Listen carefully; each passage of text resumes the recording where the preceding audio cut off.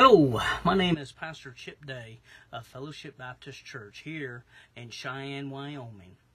I want to talk to you a little bit about the Forbid Them Not ministries and the impact that they've had on my life and uh, for our church. In recent years, the Lord has shown our church and myself a growing need in our current generation of young families. Single mothers are struggling to both provide for their families and raise their children uh, on their own.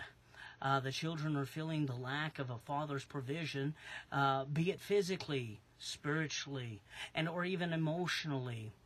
The, these conflicts stem from the missing piece of their families, the father figure in the home.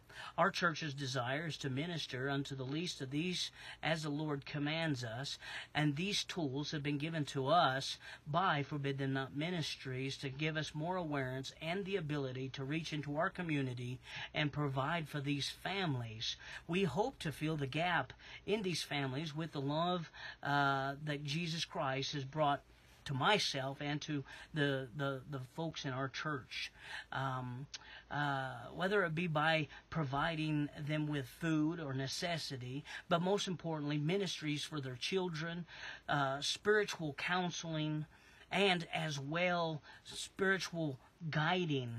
Uh, in their life, so that way the mother can be uh, better equipped to build her home and, and, and, and follow Christ in her life. Uh, we cannot sit idly by and do nothing while we hear these families cry for our help.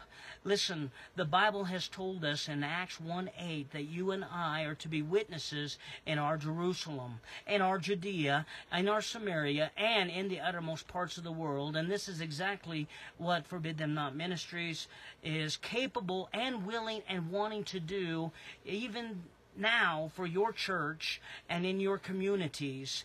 Uh, listen, Forbid Them Not is geared to give you and I the ability to be geared up and established to take care of these families and these single moms in a better way. Uh, by providing ideas and access points into this ministry, God can use Forbid Them Not to help your church reach these families.